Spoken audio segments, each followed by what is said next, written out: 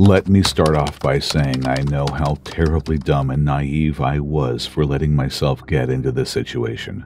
Hell, sometimes I even laugh at how preposterous this whole thing was, and you can too.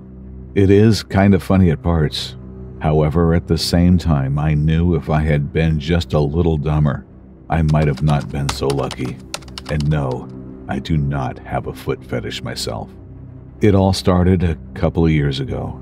I was a sophomore in high school, 15 or 16 at the time, and I was hanging out with an extremely toxic and emotionally manipulative acquaintance, Holly, who, let's just say, wasn't shy about getting money from lucrative ways.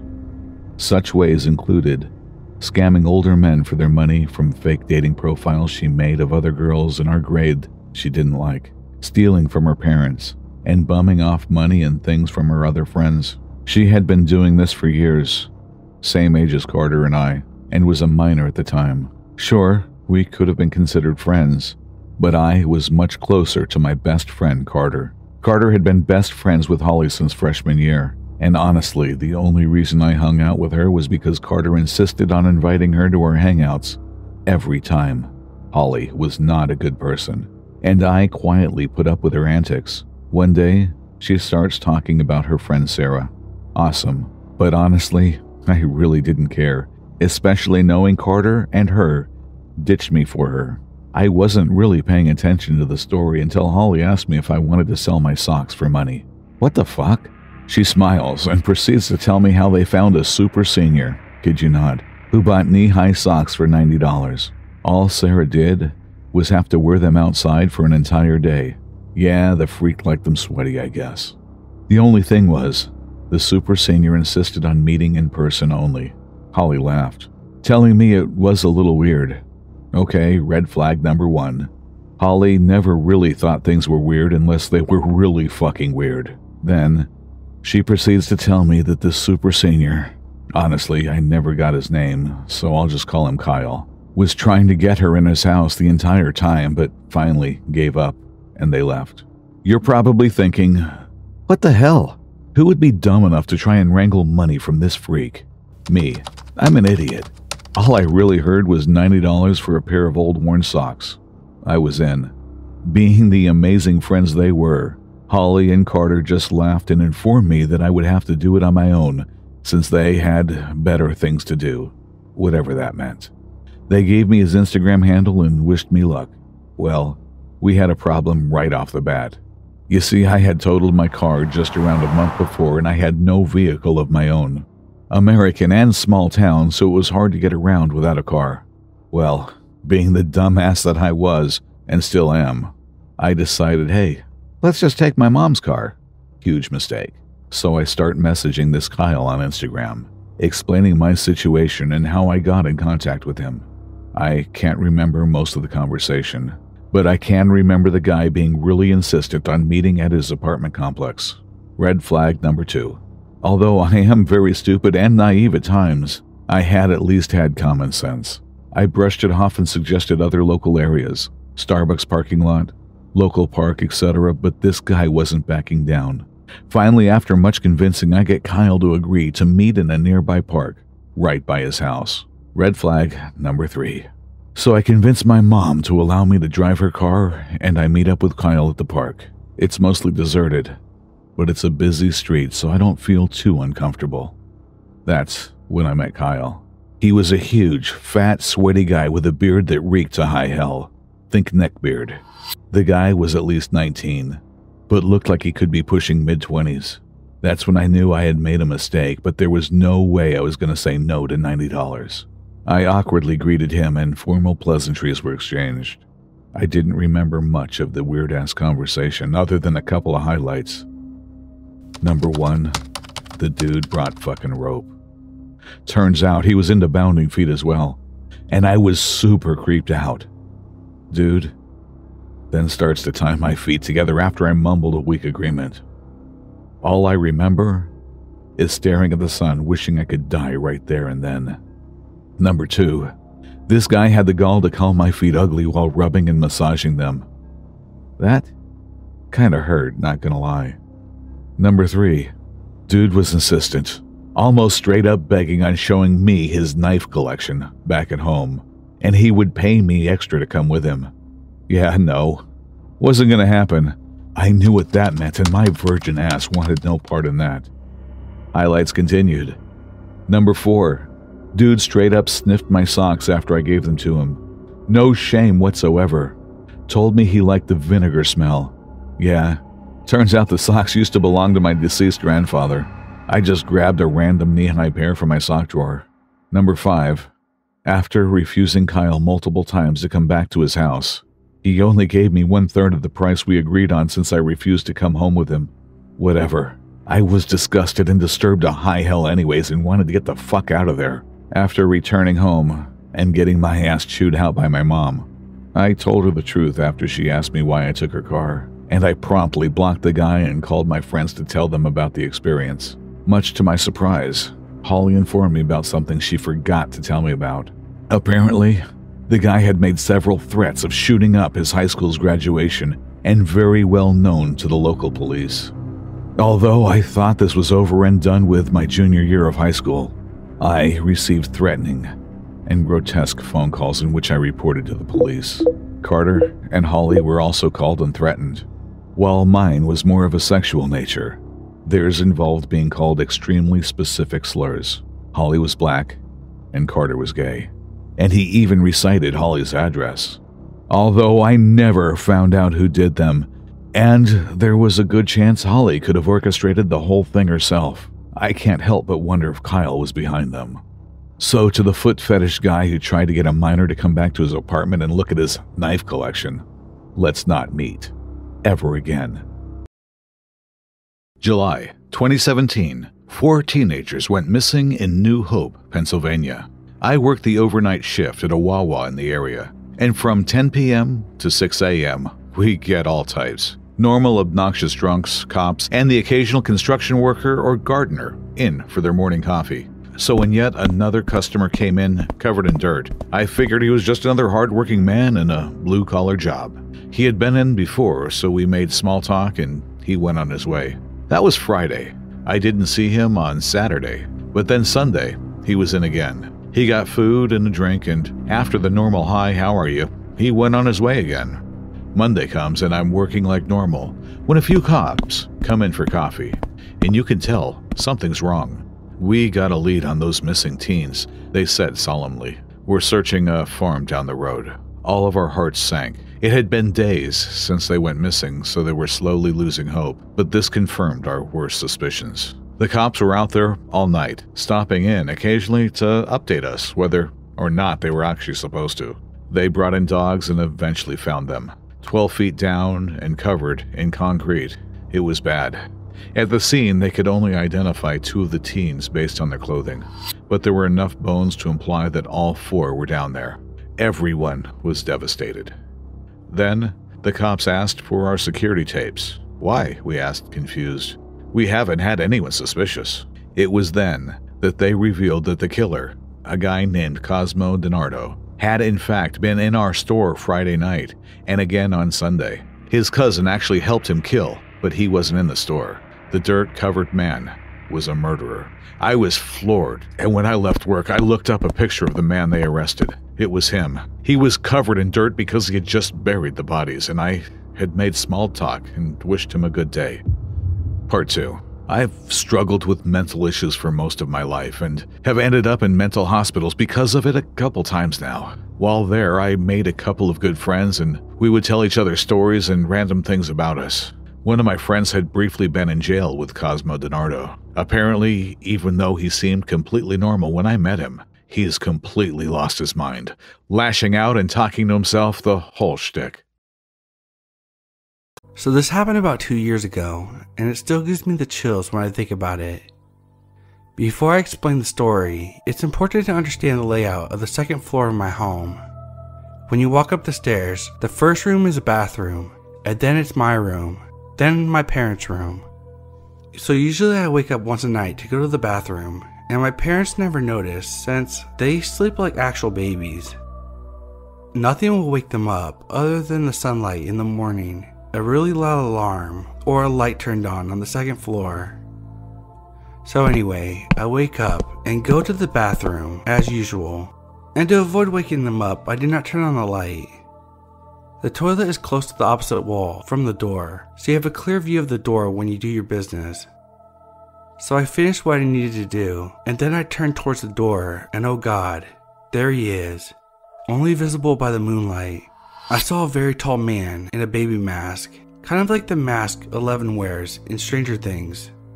I was so in shock that I didn't even scream, I just stared, and he stared back. After what felt like forever, he slowly puts his finger up to his mask and does a shush motion, tilted his head, and raised a knife as a threat. I felt like my heart dropped and I nodded. Then he took a step towards me and whispered, Don't let the bedbugs bite, and then left the bathroom. I heard him slowly walk downstairs, open the front door, and shut it. I immediately checked out the bathroom window, which looks down on my street, to make sure he had actually gone outside and was not still inside. I saw him wave at me and then run off. I ran out of the bathroom and into my parents' room to wake them up, told them what happened, and they called the police. They found him a couple hours later, completely high and with a couple of stolen items. He didn't steal anything from our house though. Anyway, every time I go to the bathroom at night now, I close the door, turn on the light, check the shower, and do my business. This happened to me last spring. I live in a quiet and wealthy part of North London, and I attend a very academic, all girls school in my neighborhood. Since my school is really academic, we were required to complete the Bronze Duke of Edinburgh. It's like a program that gives you extra credit in life, and it's part of the school curriculum. And as much as I didn't want to do it, I sorta had no choice in the matter. So, our school is divided into six buildings four with only classrooms, a drama department, the music block, and the sixth form building, with a sports department on the first floor. I believe in America the sixth form are the junior and the senior years. The sports department also has a huge sports hall, a bunch of offices, and a rather small playing field. The playing field is at the very back of our school campus, and it's never really used much. Anyways, our first ever expedition for Duke of Edinburgh was coming up in a couple of weeks' time, and we all felt pretty confident about it. But since we were a useless bunch of teenagers, our teachers thought that it would be helpful for us to practice setting up and sleeping in the tents overnight. I didn't like the sound of that at all. It's just utterly creepy to stay in school overnight, especially on some little playing field at the far corner of the campus. But my parents signed my permission slip. What can I say? So, the day the sleepover rolled around, we had a double PE lesson that afternoon during which we went down to the creepy playing field to practice setting up the tents so that that night wouldn't be totally chaotic. The most disturbing part about that field was that it faces an abandoned building. Even though it was separated by a stone wall, it still looked weird. It was one of the only abandoned houses in the neighborhood. The creepy house was ginormous, and it was made out of red brick. Anyways, we sat down in a semicircle while the teachers explained to us how to set up everything.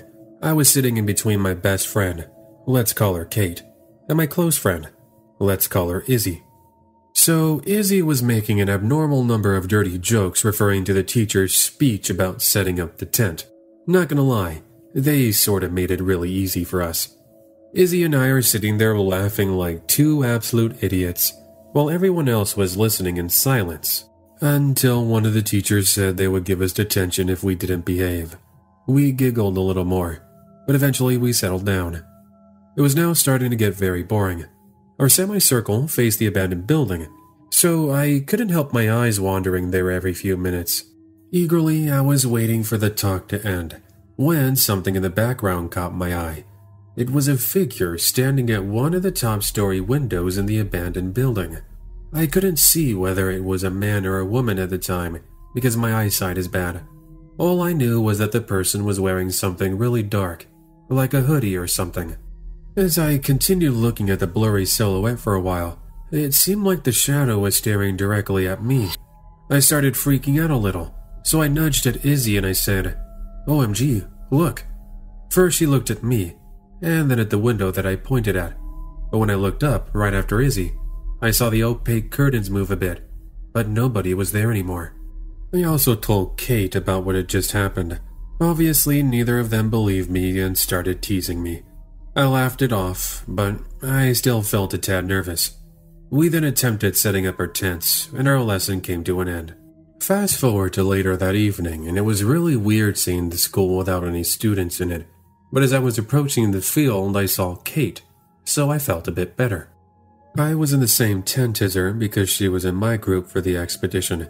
We then later discussed all our teenage girl stuff as we tried to go to sleep.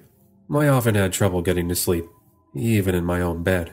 And as expected, I wasn't able to fall asleep easily in the tent. So I kept going through my phone until it was really late, and I was sure that everyone was asleep, including Kate. I was starting to drift off around 2 a.m., but then it started to rain. It was at that moment I understood that I should have been listening to the teacher's explanation of how to correctly put up a tent instead of Izzy's dirty jokes, because our tent was starting to fill up with water. I imagined that we probably hadn't zipped up the outer layer of the tent properly, so I gathered every bit of strength that I had left and I climbed outside, leaving my phone. I struggled for a while, but I ended up successfully zipping up the tent. By the time I had finished, I was soaking wet, so I decided to grab a dry hoodie from my PE kit. We stored our sports kits inside the PE department, which had been left open in case we needed the bathrooms.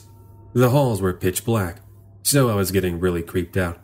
Anyways, I went into the changing room, switched the light on, and then changed into my dry hoodie. When I pushed down on the door handle in order to leave, for some reason it was stuck, and it wouldn't move. It felt as if someone was holding the handle on the other side. At this point, I started to freak out a little more. Me being the way I am, I asked quietly, Hello? No response. Now, even though I was quite scared, I could be savage and was also really strong. This time around, I asked in a very firm, clear voice, Is there anybody there? I'm not exactly sure what my logic was at the time. Like, did I actually think he was going to say, Yeah, it's Peter, do you want a sandwich? But again, there was no response. I started trying to wiggle the door handle free so hard that it actually came off in my hand, which I thought was extremely odd since the building was very newly built. That, and the person didn't have to hold the door anymore because I was stuck, and I couldn't open the door even if I really tried. At this point, the lights went off in the changing room. Now the situation seemed as if though it came out of a movie. But reality was catching up to me as I understood that somebody really was on the other side of that door because the light switch to the changing room was outside. To be honest, I was actually having a panic attack so without thinking, I started banging and kicking the door while screaming, Help! at the top of my lungs, desperately hoping that a teacher or a security guard would hear me. But I think that only angered the other person, as I saw the part of the door where the handle was built onto slowly begin to turn. I immediately run to the other side of the changing room. It was like two meters away. And then I locked myself in one of the shower cells, which was the first place that I could think of. As soon as I locked the door behind me, I heard the door opening and heavy footsteps enter the room, which convinced me that it was a man. I tried to silence my breathing with my hand, but I don't think I did a very good job, as the footsteps soon stopped right before my shower cell. At first, I couldn't quite comprehend what he might be doing, but then I see an eye glaring at me through one of the gaps in between the door hinges. This was the most scared I'd ever been in my life. I screamed like there was no tomorrow. I was so lost because I didn't understand what I could possibly do to get out of here. But then it hit me. I was hoping I was strong enough to pull this off. I swung the door open so hard I slammed the man in the face. Now I knew the door was open because I didn't hear it closing. If he closed it, he would be stuck too. So I run out of that room and down the hallway while screaming so loudly that my own ears started to ring. Now, that building was about 20 meters away from the playing field, so I run as fast as I could while screaming at the top of my lungs, which woke up the majority of people asleep in the tents. I had a panic attack and I couldn't breathe for a good 10 minutes. But later, I explained to the teachers what had happened. They ended up calling our version of 911, but the man was never found, probably because I'd given them plenty of time to escape. Everybody was sent home straight after that. However, I remember clear as day that as I was running away, I turned around and saw the figure in the dark hoodie that I had seen standing in that window earlier in the day. That night still haunts me, even as I write this out.